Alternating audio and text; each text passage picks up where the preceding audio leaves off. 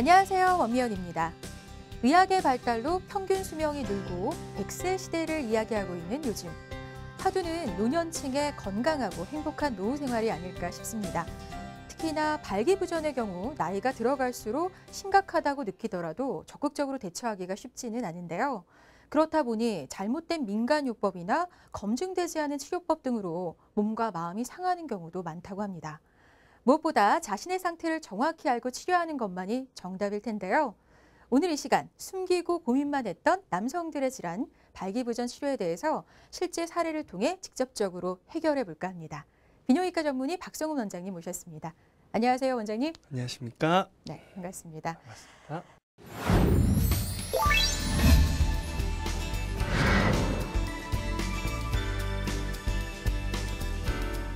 먼저 오늘 환자 사례부터 살펴보겠습니다. 저는 72살의 남성입니다. 20년 전부터 고혈압과 당뇨를 앓고 있습니다. 관상동맥, 경동맥, 스텐트 시술도 여러 차례 받았습니다. 발기부전 증상은 10년 전부터 있었는데요. 약물과 주사 치료 모두 부작용이 심해서 엄두가 나지 않습니다. 수술 치료를 통해서 자신감을 회복하고 싶은데 지병 때문에 합병증이 또 걱정됩니다. 치료가 가능할까요?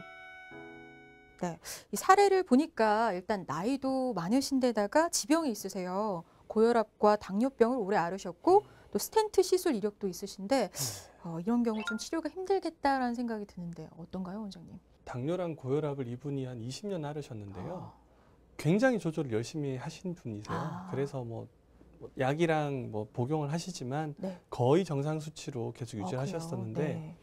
이제 당이랑 고혈압이 좀 이렇게 어떻게 보면은 무서운 질환인 게 관리를 잘 한다고 해서 그 합병증이 안 오진 않거든요. 아. 왜냐하면 이 질환들이 둘 다 음경에 있는 동맥, 우리 몸을 피를 보내주는 그 혈관들에 문제를 만듭니다. 네. 그래서 이제 그 관상동맥 스텐트를 받거나 뭐 경동맥 스텐트를 받으셨거나 이런 것도 전부 다 그 이 동맥들이 가늘고 좁아져서 생기는 네. 병이거든요.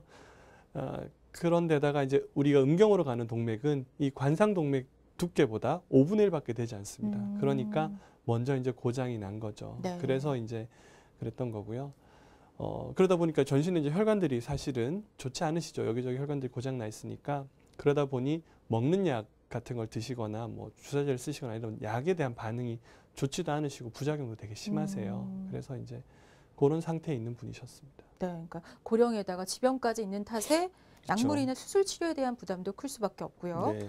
이런 경우는 발기부전을 치료할 수 없을 거라 생각하고 사실 질에 포기하시는 분들도 많을 것 같거든요. 예, 예. 이 환자의 경우는 어땠나요? 그래서 이분 같은 경우에는 어, 사실 약이나 이런 게 듣지 않으니까 수술을 받으셔야 되는데 음, 환자분들이 잘 아세요. 뭐 그 내가 심장이 안 좋고 오랫동안 뭐 그렇다 보니까 네네. 전신 마취를 굉장히 부담스러워하세요. 뭐 우리가 전신 마취가 위험하다는 건 아닙니다. 음, 그러나 그 위험하지 않다고 해서 어, 문제가 없는 건 아니거든요. 네네. 그래서 이분 같은 경우에도 본인이 전신 마취 받는 거를 극도로 꺼려하셨어요. 네. 뭐 사실 좋으려고 받는 수술을 받았다가 문제가 또, 생기면 네. 어떡하나 그러셨는데 저희가 사실 그렇기 때문에 저는 어, 거의 대부분의 처음 하는 팽창 임플란트 수술들은 국소 마취로 진행을 합니다. 어, 국소 마취라는 것이 우리가 폭경 수술할 때처럼 그 아. 부분만 부위 마취만 하는 건데요.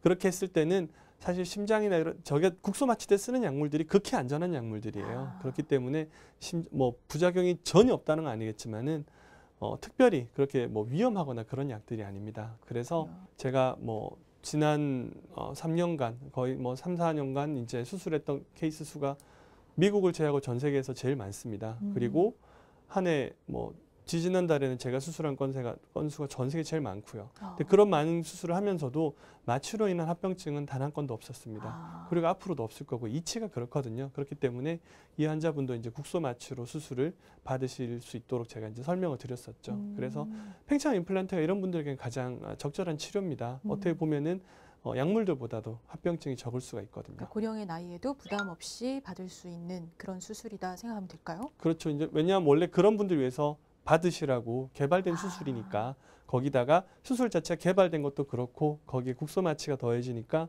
수술에 대한 안정성이 훨씬 더 높아졌다 고 보시면 됩니다. 그렇군요. 그럼 수술 후에 반응은 또 어땠을지 좀 궁금해요. 네. 이분 같은 경우에 이제 수술 받으시고 뭐 특별한 문제 없이 잘 회복이 되셨어요. 아. 그래서 뭐, 뭐 당이 있고 뭐 연세도 많으시고 그렇잖아요. 그래서 뭐 회복이 더딜 거다 어쩔 거다 우리가 네. 이제 뭐 걱정을 미리 좀 걱정을. 하실 수 있는데 사실 한국에서 제가 수술했던 분 중에 가장 연세가 많았던 분이 87 되신 분이셨거든요. 아 그래요?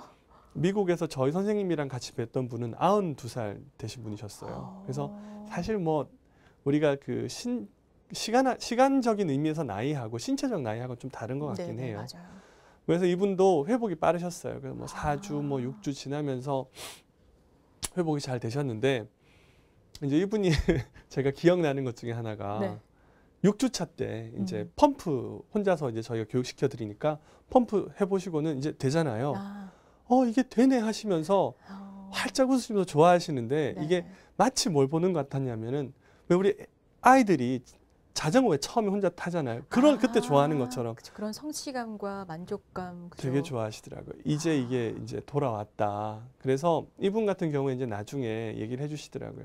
6개월 뭐 1년 지나면서 2년 차 때 한번 내원해 주셨어요. 음. 2년 차 때 내원하셔가지고 어르신 좋으셨어요? 그랬더니 어우 좋았어. 나 굉장히 좋았어. 그러시더라고요. 많이 써보셨어요? 그랬더니 두 번 썼지. 그래요?